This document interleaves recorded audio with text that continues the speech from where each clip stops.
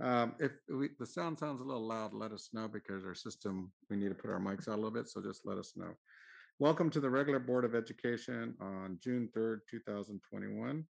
Uh, We will be uh, going into closed session, usually, and we'll call to order right now, and then we'll be called, talk about closed session. Call to order, Superintendent? Yes, Mr. Reed, Here. Mr. Short, Here. Mr. Hoover, Here. Mr. Clark, Here. Mr. Hui, Here. all are accounted for. Oh, I see. Yeah, and typically the board will go into a closed session. We come around around six. Uh, What matters we talk about are student matters, employer-employee relations, uh, conference with legal counsel, conference with real property negotiator, and personnel matters.